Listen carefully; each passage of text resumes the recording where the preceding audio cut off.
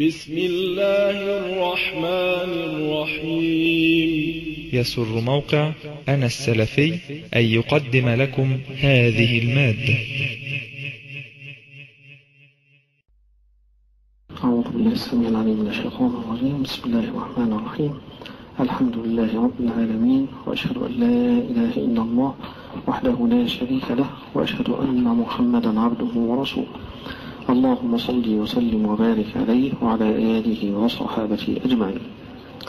قال الشيخ أبو القاسم الخرقي والاختيار تأخير التيمم قال أبو محمد بن قدامة في المغني ظاهر كلام الخرقي أن تأخير التيمم أولى بكل حال وهو المنصوص عن أحمد وروي ذلك عن علي وعطاء والحسن وابن سيرين والزهري والثوري وأصحاب الرأي. وقال أبو الخطاب يستحب التأخير إن رجى وجود الماء وإن يائس من وجوده استحب تقديمه وهو قول مالك. وقال الشافعي في أحد قوليه التقديم أفضل إلا أن يكون واثقا بوجود الماء في الوقت لأنه لا يستحب ترك فضيلة أول الوقت. مسألة يذكرها أبو القاسم الخرقي ويقول لنا والاختيار تأخير التيمم. التيمم قلنا إنه عزيمة من العزائم وليس رخصة من الرخص.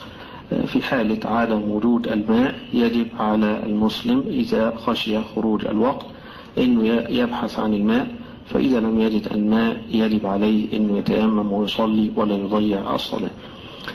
فرق طبعا بين نقول هو رخصة وهو عزيمة. التيمم عزيمة. معنى رخصة زي ما نقول المسافر في نهار رمضان رخصة له أن يفطر من رخص المسافر في نهار رمضان أن يفطر. فعزيمة الأصل الصوم. فإذا سافر رخص له يجوز له أنه يفطر. يبقى يجوز الأصل أنه يصوم ويجوز أنه يأخذ بالرخصة ويفطر. يبقى هنا رخصة.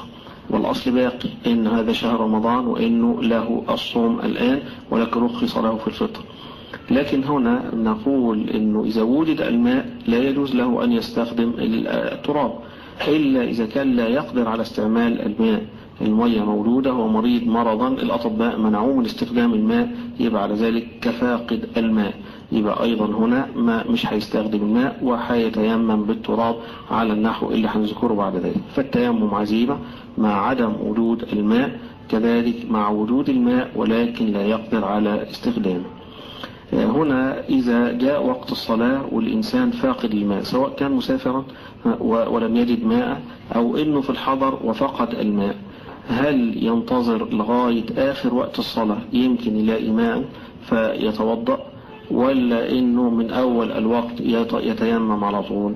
فبيقول لنا هنا ابن قدامة ظاهر كلام الخرقي أن أن تأخير التيمم أولى بكل حال.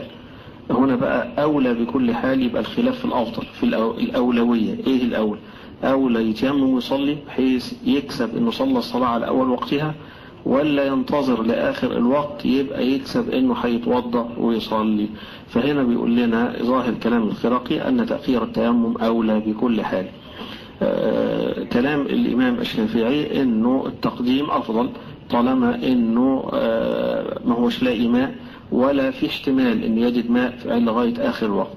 لكن إذا كان واثقا من وجود الماء في آخر الوقت إنسان في مكان وعارف أن الساعة كذا هيجي الماء وهو فاقد للماء الآن يبقى على ذلك الصلاة بالوضوء أفضل من التيمم. يبقى يجوز له أنه يتيمم ويجوز له أنه ينتظر والانتظار أفضل لأنه في هذه الحالة عنده أمارة أن هيكون في مية قبل ما يخرج وقت الصلاة. بيقول ابن قدامة وبيختار إنه يؤخر التيمم أولى بكل حال. قال لنا قول علي رضي الله عنه في الجنب يتلوم ما بينه وبين آخر الوقت. يتلوم معناه ينتظر ويتلبس يصبر لغاية ما بينه في وقت إنه على جنابة ودخل وقت الصلاة ومش واجد ماء يبقى ينتظر لغاية قبل آخر الوقت. فإذا استمر عدم لقي أو وجدان الماء يبقى يتيمم. بيقول لنا برضو ابن قدامة ولأنه يستحب التأخير للصلاة إلى بعد العشاء وقضاء الحاجة كي لا يذهب إلى بعد العشاء وقضاء الحاجة كي لا يذهب خشوعها وحضور القلب فيها ويستحب تأخيرها لإدراك الجماعة فتأخيرها للطهارة أولى يعني هنا نوع من أنواع القياس. بيقيس إنه يقول إذا كان واحد اتحط العشاء وأذن للعشاء يبقى هنا إيه الأولى؟ اذا كان جائعا يأكل وبعدين يروح يدرك صلاة العشاء. آه لكن فرضنا إنه جعان ولو راح لصلاة العشاء هيبقى دماغه في الأكل مثلا يبقى على ذلك يأكل لغاية ما آه يشبع وبعد ذلك يدرك الصلاة إن أدركها. وإن كان الأفضل الانسان ما يأجلش آه الصلاة أو إنه يقدم العشاء في وقت يعلم وجود الصلاة فيه. أنه إذا حدث هذا الشيء وأنه وضع العشاء وكان الإنسان محتاجا أنه يأكل ولو أنه قام للجماعة هيبقى مشغول بجوعه عن صلاة الجماعة فقال لنا النبي صلى الله عليه وسلم أنه يأكل طعام عشاءه إذا حضر العشاء والعشاء فابدأوا بالعشاء يبدأ في الأول. فبيقول إذا جاز تأخير الصلاة لغاية ما يتعشى فيصلي يبقى من باب أولى أنه يتأخر لغاية ما يجد الماء طالما أنه على ثقة من أن يجد الماء في آخر الوقت أو أنه ظنه يجد الماء في آخر الوقت. على كل الخلاف هنا الخلاف في الأولى. يعني إيه الأولى؟ إذا فقد الماء ينتظر لغاية قرب آخر الوقت يقوم يمكن يجي المية فيتوضأ ولا أنه من أولها يتيمم.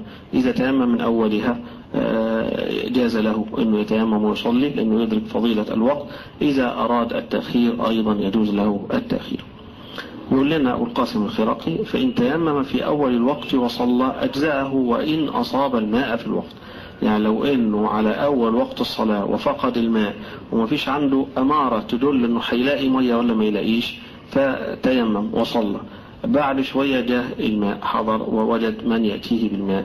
هل يلزمه إعادة ولا ما يلزموش إعادة؟ يقول لنا ابن قدامة العادم للماء في السفر إذا صلى بالتيمم ثم وجد ماء. لاحظ أنه غالبا ما يذكر لك المسألة أنه في السفر في السفر. لأن الغالب في السفر الإنسان مسافر في مكان مش عارف في مية ولا مفيش مية. هيبحث في حتت وأماكن تانية يمكن ما يعرفش يصل إليها بخلاف الحضر.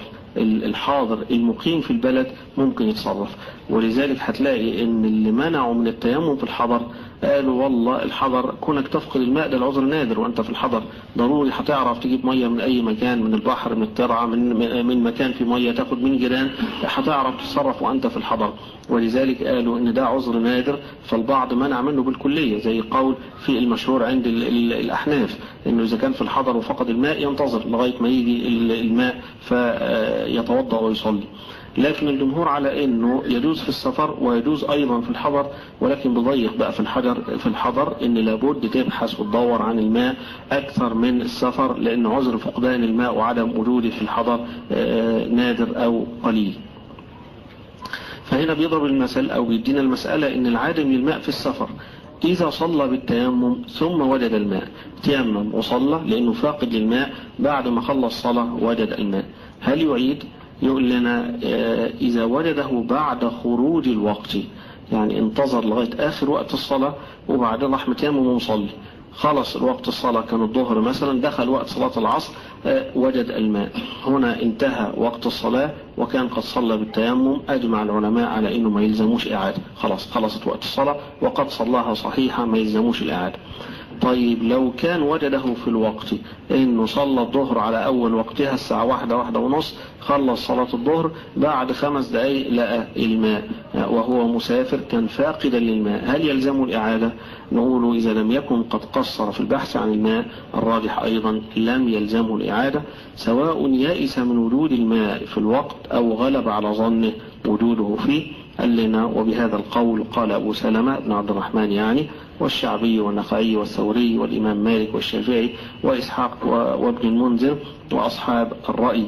قالوا بهذا يعني الأئمة الأربعة قالوا بأنه حتى لو كان في الوقت تيمم وصلى وبعدين وجد الماء في الوقت ما يلزموش الإعادة. قال لنا قال عطاء وطاووس والقاسم بن محمد ومكحول وابن سيرين والزهري وربيعة يعيد الصلاة. يعيد الصلاة. يعني هؤلاء من التابعين قالوا إنه يعيد الصلاة. طالما إنه لسه ما زال في الوقت ومصلي بتيمم وهو في الوقت وجد الماء يعيد الصلاة. ابن قدامة بيقول ولنا يعني الحجة له وللجمهور حديث أبي سعيد الخدري اللي رواه أبو داود وهو حديث صحيح. وفيه أن رجلين خرجا في سفر فحضرت الصلاة وليس معهما ماء.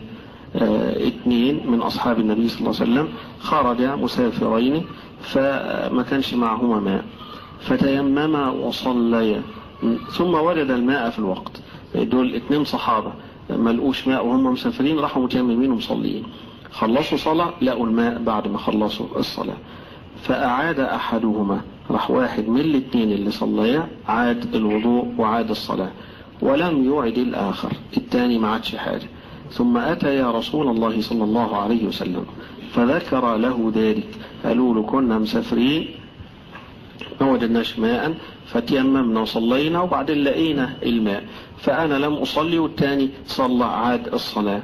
فقال للذي لم يعد قال للذي لم يعد أصبت السنة وأجزأتك صلاتك. يعني أنت عملت الفرض إلا عليك ووافقت السنة وصليت الصلاة صحيحة ما عليكش حاجة تانية. قال للذي أعاد لك الأجر مرتين. يبقى هنا كأن اللي أعاد ما كانش يعرف. وخشي أن الصلاة تكون باطلة فلذلك أعاد. طالما أنت على هذا الظن فلك الأجر مرتين. صلاتك الأولى كانت صحيحة والثانية لك ثوابها لأنك ظننت أن الأولى لا تجزي لكن قال الأول أصبت السنة. دل على إن اللي يحدث له بعد ذلك مثل ذلك الراجح أنه لا يلزم الإعادة لأن النبي صلى الله عليه وسلم قال أصبت السنة فإذا كنت أنا تيممت وصليت وأصبت السنة يبقى لا يجوز لي إن أنا أعيد الصلاة مرة ثانية لأنها صلاة صحيحة بنص النبي صلوات الله وسلامه عليه. قال لنا واحتج الإمام أحمد بأن ابن عمر تيمم وهو يرى بيوت المدينة فصلى العصر ثم دخل المدينة والشمس مرتفعة فلم يعد وده رواه الإمام مالك في موطئه وروى البخاري تعليقا مجزوم به فهو صحيح في أنه ابن عمر صلى هو يرى بيوت المدينة كان قادم من موضع اسمه الجرف أو جاي من لغاية ما وصل لمكان اسمه المربد جاي من الجرف ووصل لمكان اسمه المربد وهنالك كان شايف بيوت المدينة لسه قدامه على المدينة ميل أو نحوه فتيمم وصلى خاف الصلاة تروح منه فتيمم وصلى. كانت صلاة العصر. ودخل المدينة والشمس مرتفعة. لما دخل لم يعد الصلاة. يبقى ابن عمر كان خارج المدينة جاي من مكان اسمه الجرف وبعدين وصل لمكان اسمه المربد وهو خارج المدينة. جاءت عليه صلاة العصر. ما فيش ماء ما قالش استنى لما ادخل المدينة خشية. قال على ما يدخل المدينة تكون خلصت وقت الصلاة راح. فتيمم وصلى. ثم دخل المدينة كان لسه باقي وقت على المغرب ولم يعد رضي الله تبارك وتعالى عنه. يقول لنا ابن قدامة في ترجيح يعني مذهب الجمهور أن الذي يصلي بتيمم ويجري الماء في الوقت لا يجب عليه أن يعيد الصلاة مرة أخرى. قال لأنه أدى فرضه كما أمر فلم يلزمه الإعادة. ربنا أمر بأداء الفرض وأدى هذا الرجل صحيحا يبقى ما يلزموش الإعادة. قال ولأن عدم الماء عذر معتاد يعني يقول إن الإنسان المسافر غالبا ما يفقد الماء. ده كان في الماضي على هذا الشيء ونعرف الرحمة اللي إحنا فيها إن كثيرا ما تجد الماء وأنت مسافر ولا تفقده من رحمة رب العالمين سبحانه. قال ولأنه أسقط فرض الصلاة فلم يعد إلى ذمته. هنا التوجيه قول الجمهور. بيقول هذا صلى الصلاة دي مش فريضة فرضها الله عز وجل؟ طالما فرضها الذي صلاها أسقط عن ذمته. لما أسقط عن ذمته اللي هيرجعها تاني وهو قد صلاها صلاة صحيحة يبقى على ذلك لا يلزم الإعادة. طيب كيفية التيمم بقى؟ هنا أبو القاسم الخرقي يقول لنا والتيمم ضربة واحدة. التيمم ضربة واحدة. ابن قدامة يقول لنا المسنون عند أحمد التيمم بضربة واحدة. فإن تيمم بضربتين جاز. هنا نعرف سنة النبي صلى الله عليه وسلم ونعرف الخلاف اللي بين العلماء في المسألة. قول الحنبلة عليه كثير من العلماء أنه التيمم هي ضربة واحدة فقط. يضرب على الأرض وهنقول تفسير كلمة الأرض والصعيد الطيب بعد شوية فهو ضربة على الأرض وبعدين يمسح وجهه وكفيه. يبقى ضرب الأرض مرة واحدة. طيب لو إنه ضرب ضربة ومسح وجهه وضرب ضربة تانية ومسح كفيه التيمم صحيح. آه لكن السنة إيه؟ نشوفوا كده الأدلة اللي بيقولها لنا. آه إن تيمم بضربتين جاز وقال القاضي الإجزاء يحصل بضربة والكمال ضربتان. ده كلام القاضي أبي يعلى من الحنبلة يقول الإجزاء إجزاء في التيمم يعني يحصل بضربة واحدة. والكمال ضربتان يعني كأنه حاول يجمع بين الأحاديث اللي جاءت في المسألة من ضربة ومن ضربتين فقال هذا الشيء. ولكن هنعرف إن حديث الضربتين حديث ضعيف فعلى ذلك مش هنجمع بين حديث ضعيف وحديث صحيح قال لنا والمنصوص ما ذكرناه يعني عن الإمام أحمد أن التيمم ضربة واحدة فقط. قال الأسرم قلت لأبي عبد الله الأسرم من تلامذة الإمام أحمد يسأل الإمام أحمد هو أبو عبد الله التيمم ضربة واحدة فقال الإمام أحمد نعم ضربة للوجه والكفين.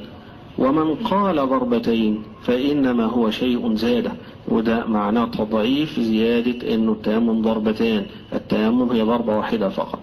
قال الإمام الترمذي وهو قول غير واحد من أهل العلم من أصحاب رسول الله صلى الله عليه وسلم منهم علي وعمار وابن عباس وعطاء والشعبي ومكحول والأوزاعي ومالك وإسحاق. مجموعة من صحابة النبي صلى الله عليه وسلم رضي الله عنهم ومجموعة من التابعين ومن الآئمة. الإمام الشافعي يقول لا يجزئ التيمم إلا بضربتين. شوف الفرق بين أنه التيمم ضربة المسنون ضربة واحدة والقول إنه لا يجزئ إلا بضربتين. يعني عند الشافعي لو إنه تيمم بضربة واحدة التيمم بتاعه غير صحيح. قال لا يجزئ التيمم إلا بضربتين للوجه واليدين إلى المرفقين. يبقى هنا كأن عند الإمام أحمد والجمهور التيمم ضربة وهيمسح بها الوجه واليدين الكفين ظاهرا وباطنا. عند الشافعي هيبقى ضربتان ضربة للوجه وضربة ثانية لليدين إلى المرفقين. يعني زي الوضوء زي الوضوء إن بيغسل في الوضوء اليد لغاية المرفق فهيقول في التيمم كذا. وكأنه قاسه على آية الوضوء وكأن الإمام الشافعي قاس ذلك على آية الوضوء.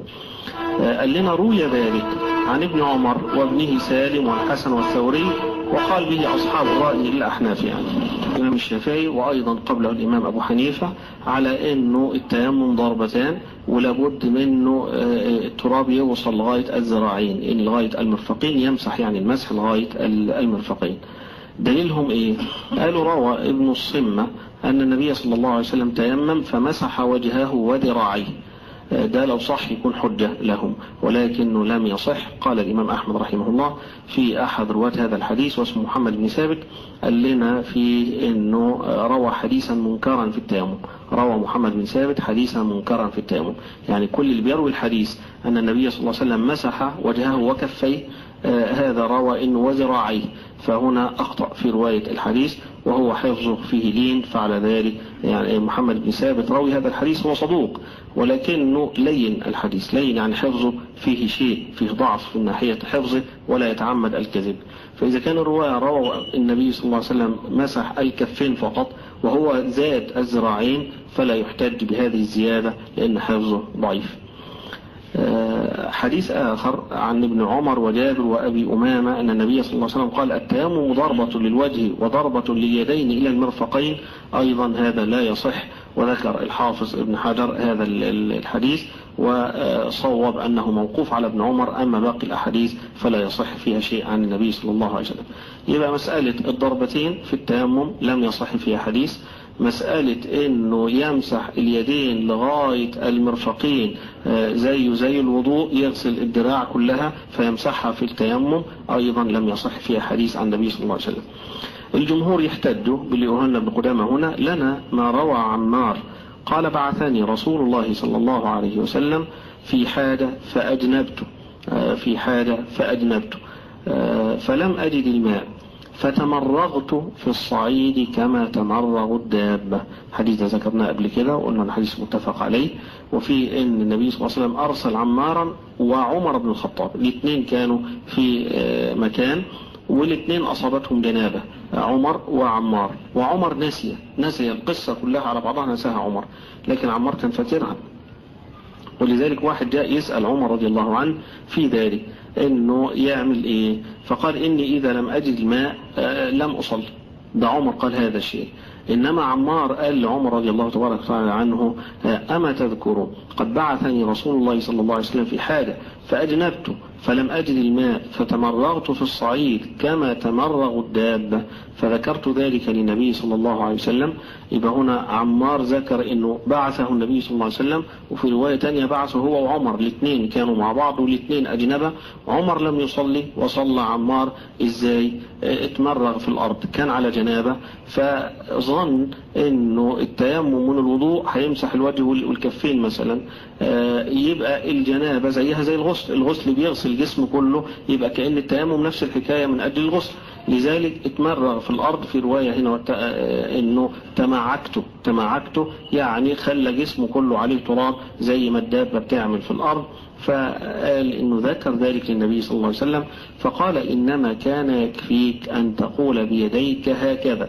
ثم ضرب بيديه الأرض ضربة واحدة ثم مسح الشمال على اليمين وظاهر كفيه ووجهه وظاهر كفيه ووجهه.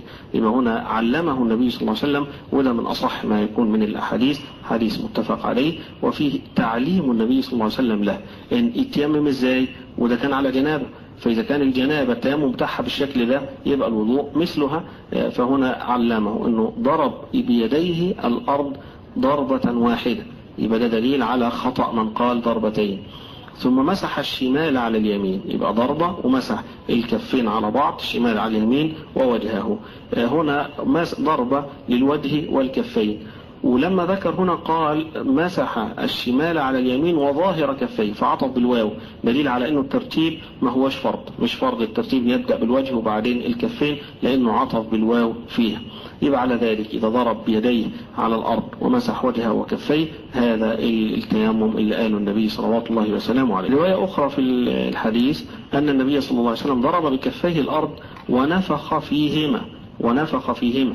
يبقى الدليل على إنه مش مطلوب إنه يبقى إيديه مليانة تراب مثلا زي ما بيتوضى بيملى إيديه مية ويغسل وجهه يقوم هنا في التيمم لا ده هو مجرد ان غبار الأرض بيجي على اليدين وبينفخ يخفف بحيث إنه يفضل شيء من التراب يسيرا يمسح وجهه ويمسح كفيه به. بيقول لنا وقد احتج ابن عباس بهذا فقال إن الله تعالى قال في التيمم فامسحوا بوجوهكم وأيديكم. وقال والسارق والسارقة فاقطعوا أيديهما وكانت السنة في القطع من الكفين وإنما هو الوجه والكفان يعني إن ابن عباس رضي الله عنه بيقول لهم ذلك قياسا يعني. يقول إنه مسح النبي صلى الله عليه وسلم على اليدين المسح اليدين والآية اللي بتذكرون فامسحوا بوجوهكم وأيديكم من إيه أيديكم؟ فبيقول اليد جاءت في القرآن بمعنى اليد من الرسغ من الرسغ. ما هياش من آخر الذراع ولا من ولا من المفصل؟ لا ده من الرسغين فقط. يبقى قال لنا ربنا سبحانه وتعالى والسارق والسارقة فاقطعوا أيديهما وقطع يد السارق إنما هو من الرسغ قال لنا وكذا السنة في القطع من الكفين. يبقى الآية فامسحوا وجوهكم وأيديكم. المقصد باليد هنا هي نفسها اليد اللي جاءت في قطع يد السارق من الرسغ ده قول ابن عباس رضي الله عنه. ابن قدامة بيقول لنا ولأنه حكم علق على مطلق اليدين. حكم معلق على مطلق اليدين يعني ما قيدش طالما لم يقيد يبقى هنجريه مجرى غير غير من الأحاديث اللي جاء فيها اليدين وفهم منها إن هو الكفين فقط. قال فلم يدخل فيه الذراع كقطع يد السارق أما أحاديثهم فضعيفة وبين ضعف هذه الأحاديث. قال وقياسهم ينتقد بالتيمم عن الغسل الواجب. هنا عند الشافعية قالوا إنه التيمم في عضوين هما من أعضاء الوضوء. يعني يقولوا ربنا سبحانه وتعالى ذكر إذا قمتم إلى الصلاة فاغسلوا وجوهكم وأيديكم إلى المرافق. دي آية الوضوء إذا قمتم إلى الصلاة فاغسلوا وجوهكم وأيديكم إلى المرافق وامسحوا برؤوسكم وأرجلكم إلى الكعبين. وإن كنتم جنبا فالطهار وإن كنتم مرضى أو على سافر أو جاء أحد منكم من الغائط أو لمستم النساء فلم تجدوا ماء فتيمموا صعيدا طيبا فامسحوا بوجوهكم وأيديكم منه. هنا بقى الإمام الشافعي نظر للآية. قال إنه الآية أولها ذكر الله عز وجل فيها أعضاء الوضوء أربع أعضاء. وفي آخر الآية خد منهم عضوين اثنين جعلها للتيمم. فإذا كان أول الآية قيد فيها أعضاء الوضوء بأنك هتغسل الوجه ولا بد من استيعابه وقال لك اغسل اليدين إلى المرفقين. ثم جاء في التيمم في الآية نفسها وأطلق يبقى إحنا هنقيد هذا المطلق بما قيد قبله. ودي مسألة في الأصول يقولوا لنا فيها إن حكم المطلق مع المقيد. إذا كان اتحد السبب واتحد الحكم يقولوا لنا يحمل المطلق على المقيد. إذا اختلف السبب واختلف الحكم يبقى لا يحمل المطلق على المقيد. إذا اتحد السبب واختلف الحكم يقولون أدي هنا اللي فيها. اتحد السبب يعني أنه سبب الوضوء وسبب الغسل وسبب التيمم هو رفع الحدث أو هو التطهر من أجل الصلاة أو لاستباحة الصلاة. بيقول لنا طيب هنا الوضوء إذا كنت أنت على غير وضوء فلم تجد ماء يبقى اتيمم وجدت الماء يبقى توضأ. يبقى سبب الوضوء وسبب التيمم هو أنك على حدث وأنك الآن تريد استباحة الصلاة أو رفع هذا الحدث. قالوا يبقى السبب واحد. النتيجة بتاعت هذا السبب هنا قال لنا اغسله وبين الغسل يكون إزاي فقال إلى المرفقين. وهنا قال لنا امسحه. وما بينش فأطلقها. أجب على ذلك نحمل هذا المطلق على المقيد اللي فات. وده كلام وجيه. لو لم يكن فيها حديث عن النبي صلى الله عليه وسلم بذلك فطالما صح الحديث يبقى العمل على الحديث لأنه يبين صلوات الله وسلامه عليه ما في القرآن من مجمل أو أنه إذا كان هذا الإطلاق مقيدا كان فعله النبي صلى الله عليه وسلم بالتقييد فلما لم يفعل دل على أن التيمم مسح الوجه ومسح الكفين فقط. يقول لنا ابن قدامة فصل ولا يختلف المذهب بأنه لا بأنه يجزئ التيمم بضربة واحدة وبضربتين. يعني عايز يقول هنا لو إن إنسانا قال لا أنا هتيمم بضربتين أضرب ضربة للوجه وأضرب ضربة تانية وأمسح بها الكفين. هل ينكر عليه ويتقال له لا الوضوء بتاع التيمم بتاعك باطل؟ بيقول لا لا يختلف المذهب فان التيمم بتاعه تيمم صحيح. ولكن الأولى ما دل عليه فعل النبي صلى الله عليه وسلم. يقول لنا طيب إن تيمم بأكثر من ضربتين هل التيمم بتاعه صحيح ولا ليس صحيح بيقول لنا إنه أيضا التيمم بتاعه صحيح ولكن أفضل شيء ما صنعه النبي صلوات الله وسلامه عليه. فصل فإن وصل التراب إلى وجهه ويديه بغير ضرب يعني لو إن إنسان عايز يتوضأ ولم يجد ماء وبعدين في مكان الريح فيه شديدة فبتسف التراب فليه التراب من غير حاجة؟ على وجهه وعلى يديه من غير ما هو يتعب نفسه في شيء. هل التيمم بتاعه صحيح ولا ليس صحيحا؟ يقول لنا ابن قدامة هنا يحتمل يحتمل الأمر انه يجزئه ويحتمل الا يجزئه. وبيرجح يقول لنا الصحيح أنه لا يجزئه. ليه لم لم لا يجزئ؟ قال لأن ربنا قال فامسحه وهذا لم يمسح ده التراب هو اللي جه عليه وحده. ولكن هيشكل عليه أيضا في أمر الوضوء أنه فاغسله. فلو أن الإنسان وضع له الماء على أعضاء الوضوء أو أنه صمد للماء لينزل على أعضاء الوضوء وحصل أنه وصل لأعضاء الوضوء جميعها فالوضوء بتاعه صحيح. أو الغسل لو أنه وقف تحت المطر أو تحت الدش ونزل عليه الماء على كل جسده يبقى على ذلك الغسل بتاعه صحيح. ولكن هنا الأفضل أنه إذا حصل وجاء التراب وحده وقصد بذلك التيمم فليزد على ذلك أنه يمرر اليد على الوجه ويمرر اليد على الأخرى يبقى على ذلك خرج من الخلاف فيها. يقول لنا وإن لم يكن قصد الريح ولا صمد لها فأخذ غير ما على وجهه فمسح به وجهه جاز. يعني فرضنا إن هو كان شغال في مهنة كل جسمه تراب وده وقت الصلاة ما لقاش ما يتوضأ به فاقد الماء. فخد تراب مما على جسده مسح على يديه ومسح وجهه ومسح كفيه. مما على جسده بالتراب فالراجح أن التيمم بتاعه صحيح. فصل إذا على على يديه تراب كثير لم يكره نفخه. يعني ده من السنة إنه ينفخ التراب إذا كان يريد التيمم وضرب بيديه الأرض ايدي عليها تراب ينفخ ثم يمسح وجهه بما بقي ويمسح كفيه. مسألة يقول لنا ويضرب بيديه على الصعيد الطيب وهو التراب. يضرب بيديه على الصعيد الطيب وهو التراب. المعنى هل التراب فقط هو اللي يجوز التيمم منه ولا يجوز التيمم من على